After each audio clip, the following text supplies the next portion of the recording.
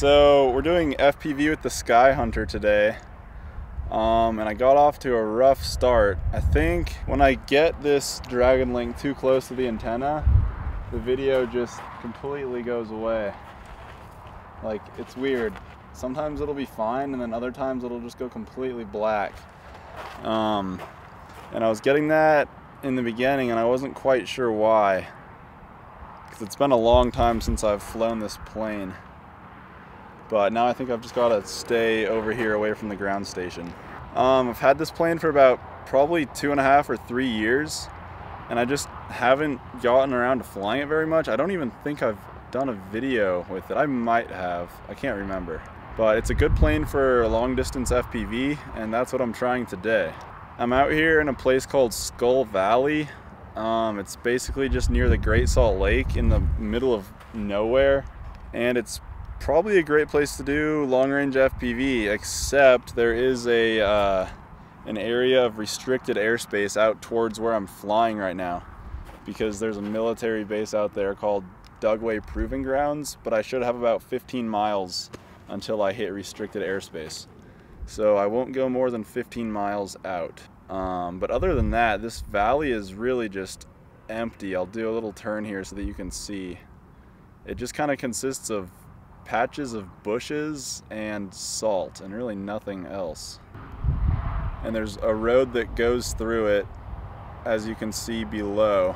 Other than like a few little farms or something, there's really nothing out here until you get to the military base at the end of the valley. So I'm just cruising along. It's pretty smooth up there right now. Here's a view of my ground station.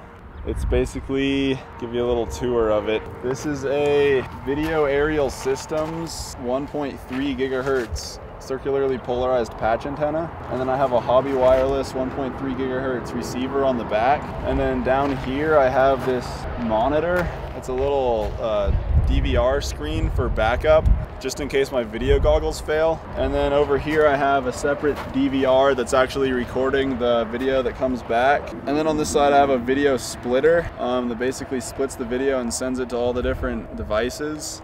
And then over here I have a big uh, three cell, 8,000 milliamp hour LiPo powering it all. And then I'm just using Fat Shark video goggles. So I do have a low pass filter on the video transmitter. I should probably get one on the receiver since I'm getting this interference. I'm also doing something that's probably not that smart right now, and that is flying long range FPV going downwind first. I have the wind to my back right now flying away from home, which is probably not a good idea because I don't know exactly how long it's gonna take me to come back. I'm feeling pretty confident because I have probably more than enough battery to get out to the end of the valley or at least get out before I hit restricted airspace. Um, the Sky Hunter is carrying two 8,000 milliamp hour three cell packs, so 16 amp hour three cell of power, and that's those are big batteries. So I should have a lot of power. It looks like my video signal is fairly strong, but there is some noise. This, uh, this plane actually has two FPV cameras. There's the one that you're seeing now that's uh, in the nose of the plane. And then there's this one that you can switch to.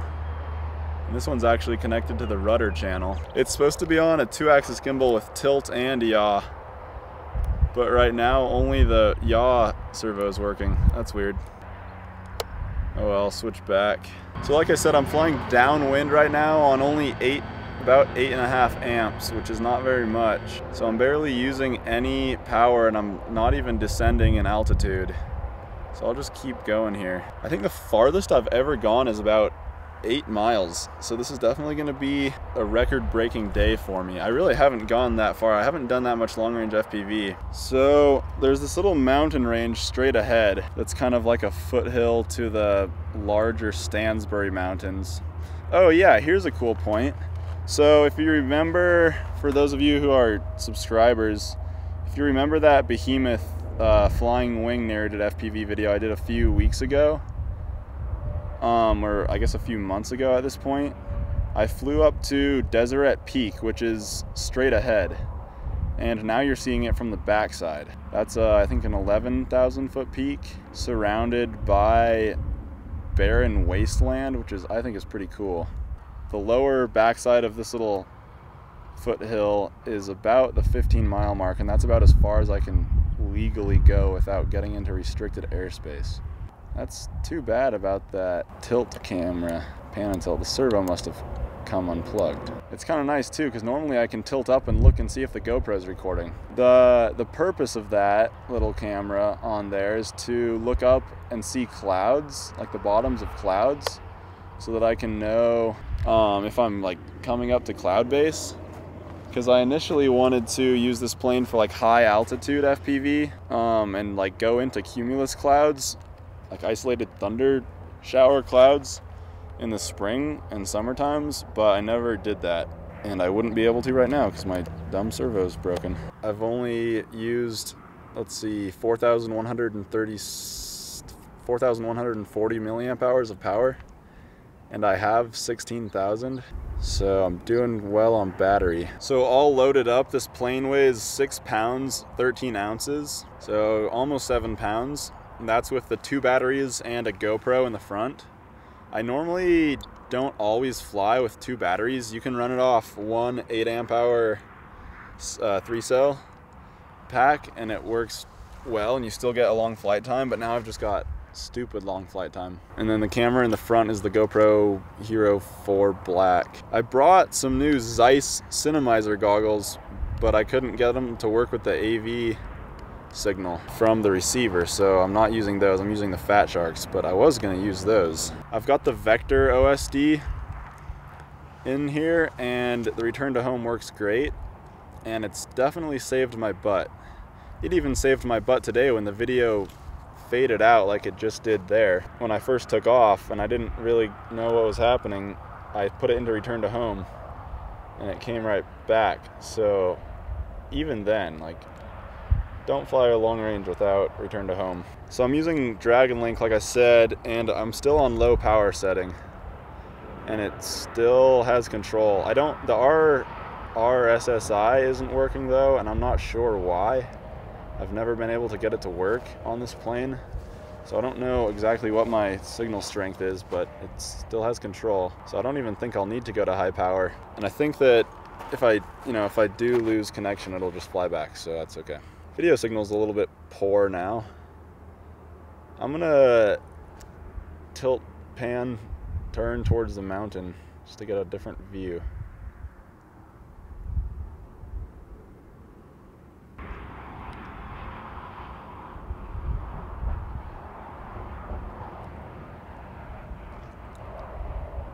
Wow, that hillside is actually not too far underneath me. So far I'm 13.6 miles out, so that's definitely farther than I've ever gone before. I do wonder what would happen if I flew into restricted airspace. Probably nothing. I doubt radar can detect a foam plane, but they might be able to pick up the radio signals from it. I was flying here a few days ago and my video is kind of cutting out like like this or oh this is so weird it's like a certain position where I put my UHF and the video just goes berserk, like right here. And if I move over here, it's fine. Um, but anyways, I was experiencing that a few days ago and I thought I could potentially be getting my signal jammed. But that's not, that's not it.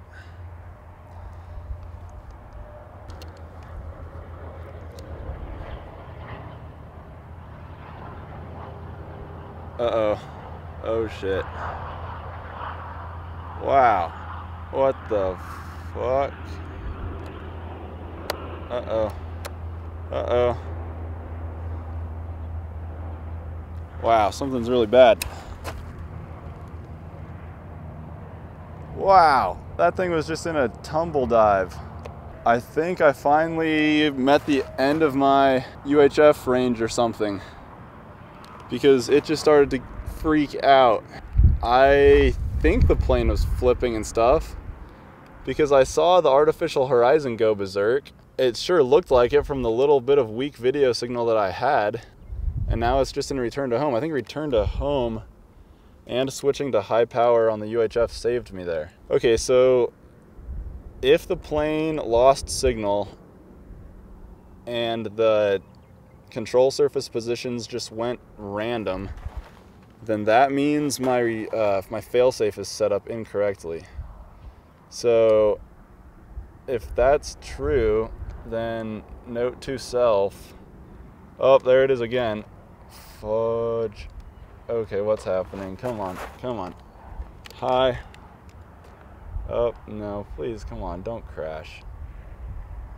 My video signal is completely gone. No idea what's happening right now. Oh, joy. Yep, still no video signal. Huh.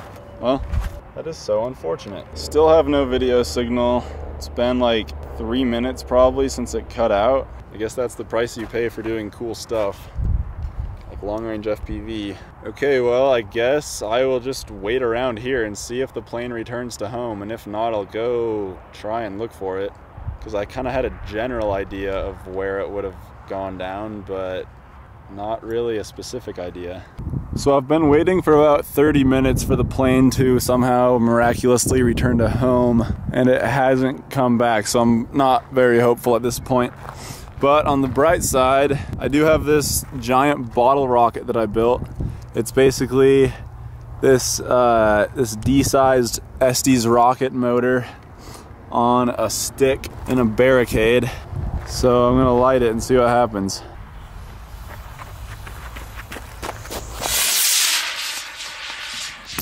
Wow, it went pretty high.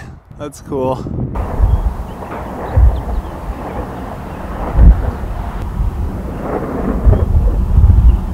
So now we're just headed out to that hill that's straight ahead. Um, I waited about 40 minutes and there was no plane.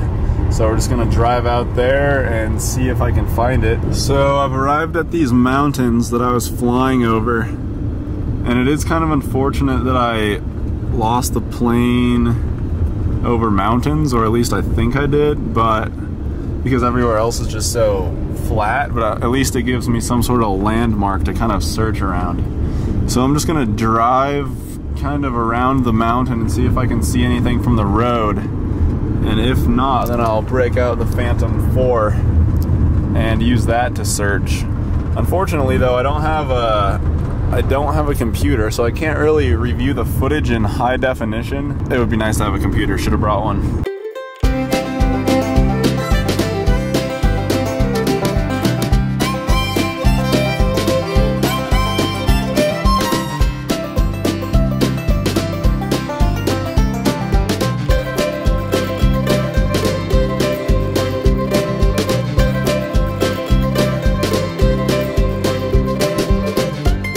I just did one flight kind of covering this side of the mountain and I didn't find anything. Couldn't see anything. So I'm gonna kind of come around to the back side and see if I can see, or I'll do another flight on the back side, see if I can kind of drive up towards that way.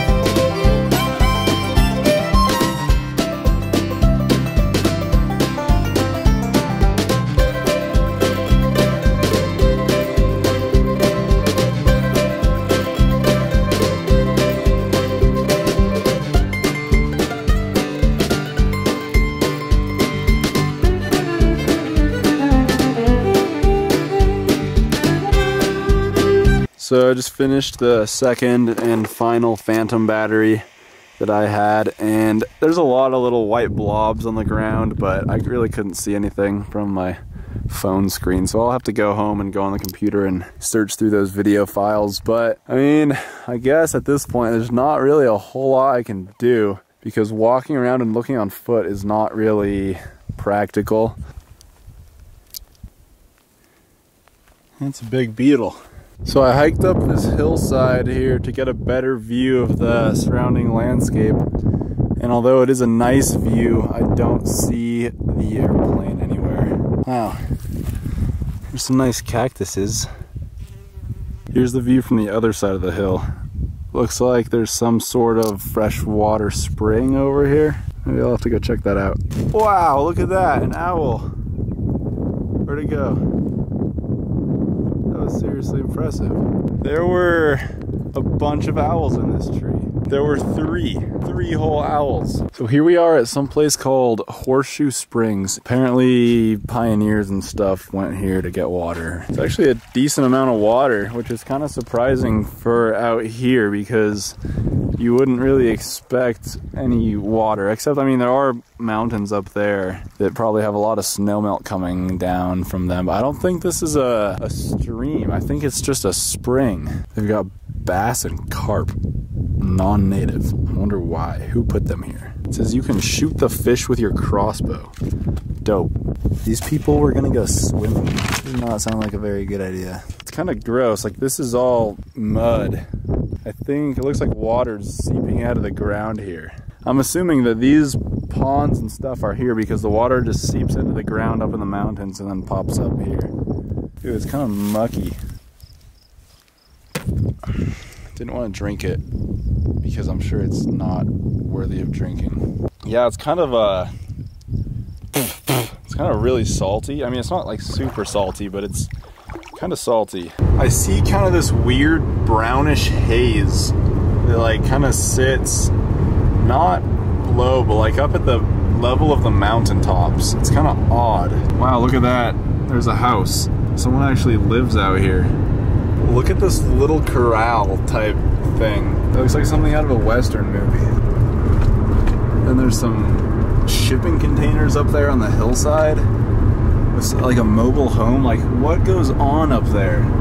I'm, I just am so curious about what that is. There's another one. Look at that.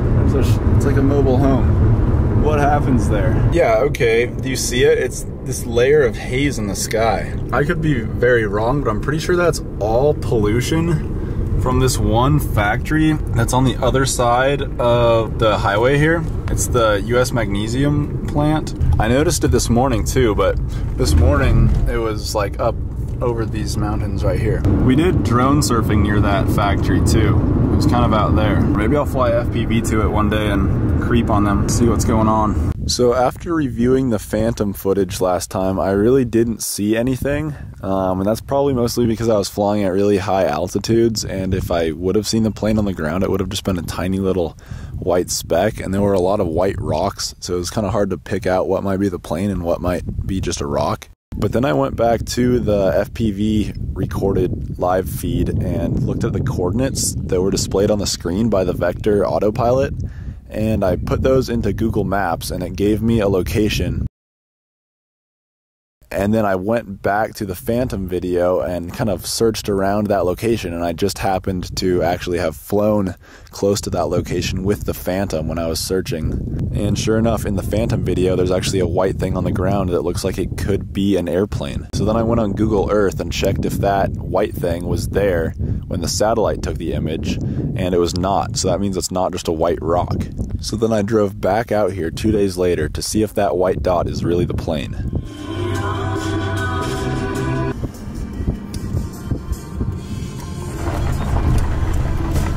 Here we are two days later. So the plane actually crashed, if, if the white dot is the plane, it crashed somewhat close to this weird little place called Ice Iosepa. And this is really interesting. It's like just in the middle of nowhere. It's like this little kind of event center gazebo type thing. But the really interesting part is so it turns out this is a cemetery, but I'll come back after I go search for the Skywalker, or the Sky Hunter rather, because I really want to find it. But this is interesting. It's not just any cemetery. So I've got the location of where I think the plane is saved on my phone. This is a big hole in the ground. I wonder where that thing is. Anyways, I'm hiking up the hill to get within line of sight of the location. I've got the Phantom here. It's really just the randomness of this place that blows my mind. Like, look how big this valley is. There's just nothing here. And then, randomly, there's a metal crab in the ground. And of course, being in the middle of nowhere has bullet holes in it, but still, it's just like, what so I walked up here and really had no idea exactly where it is. So I looked at my phone and actually the plane should be about 200 feet ahead of me there. Um, and I could just go walk up and see, but for a dramatic reveal, I'm gonna just fly over there with the Phantom. Wow, biggest letdown ever.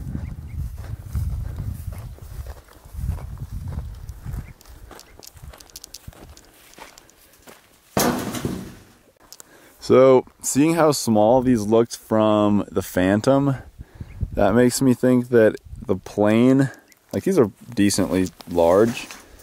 I mean, the plane's pretty big too, but it's not as wide and it might not be just laying flat like that. So I probably wouldn't be able to see the plane as well from the Phantom. I do see something white up on the hillside there though.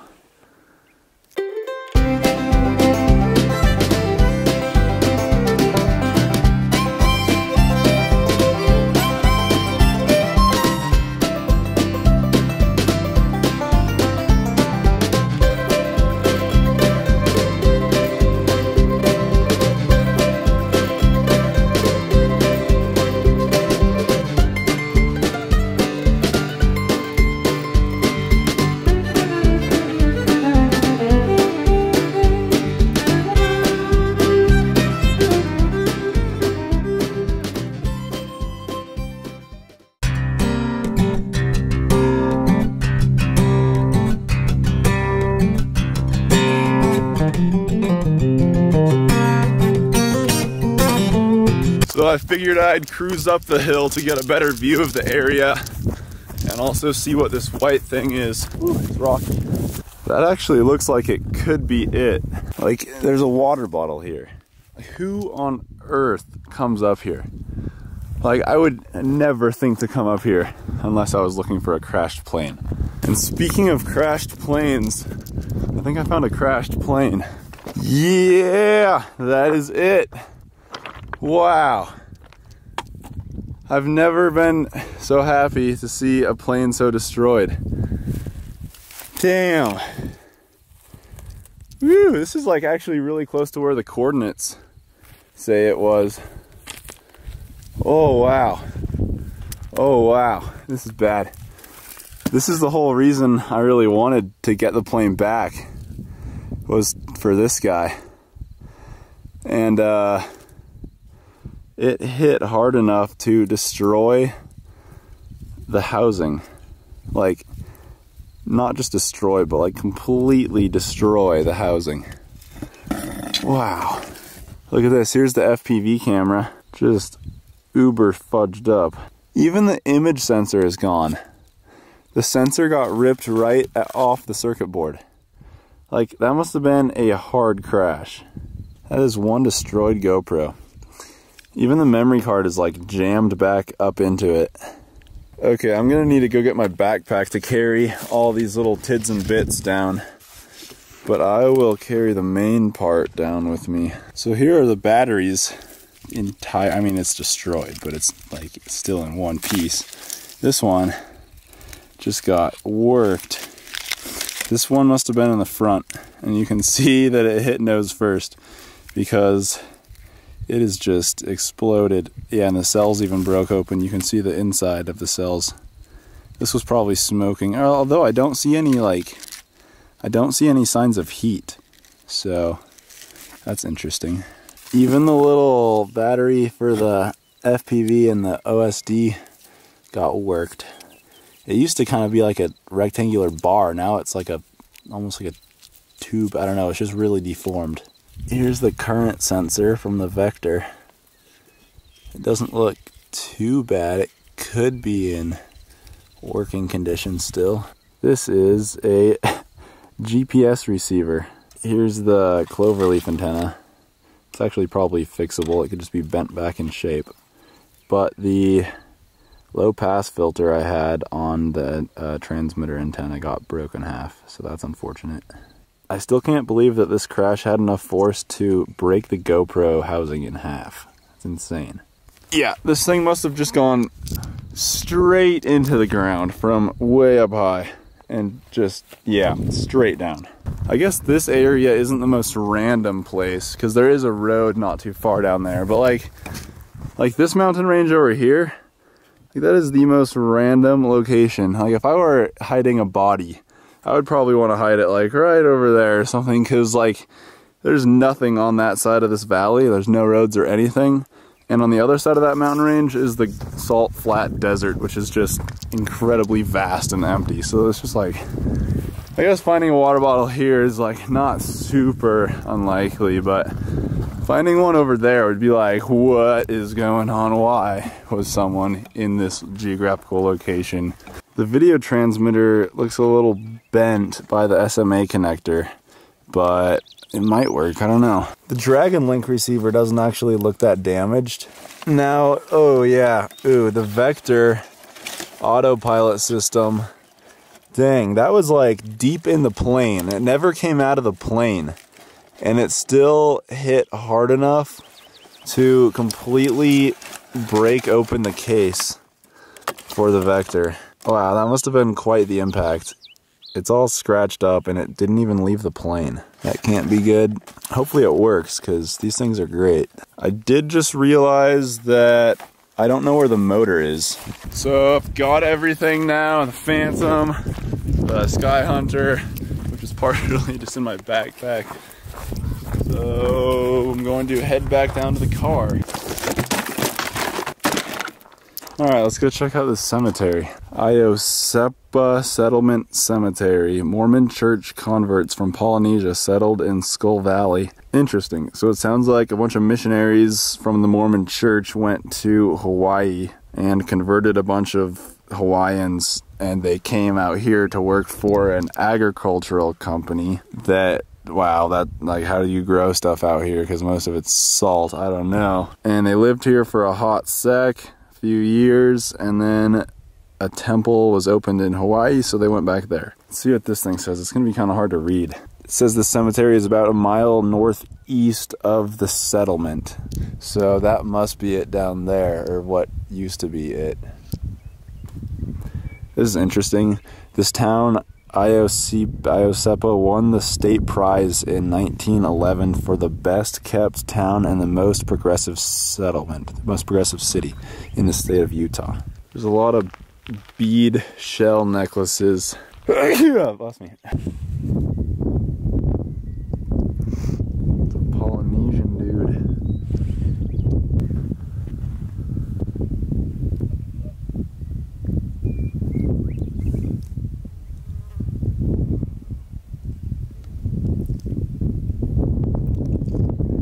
Yeah, I had no idea that any of this existed before this whole Sky Hunter ordeal began. So it looks like this thing behind me is like a, like a community center of sorts for the Mormon Hawaiian Pacific Islander community. They got some basketball hoops. They got a teeter totter alligator. They got chairs, a little stage, some garages to keep stuff in. Hey, they have a rainwater collection system. That's cool. So I have one more phantom battery, so I figured I'd use it.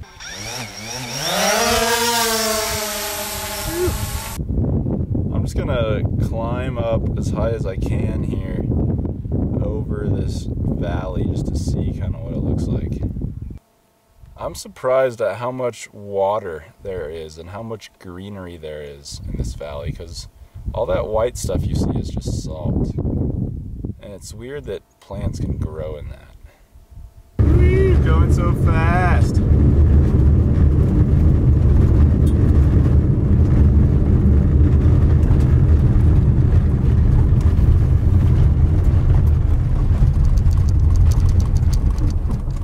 Maybe that'll look cool.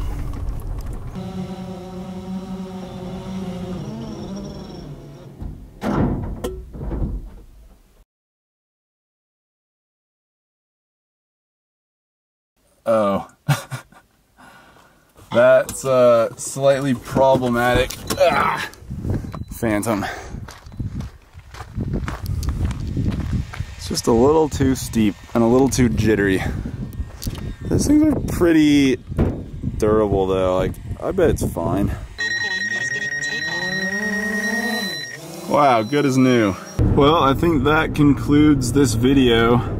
Still to this day, I have never actually lost a plane. I've had planes uh, go down that took a while to find, but I've never actually lost one. So hopefully it stays like that. Anyways, that concludes this video. Thanks for watching. Bye.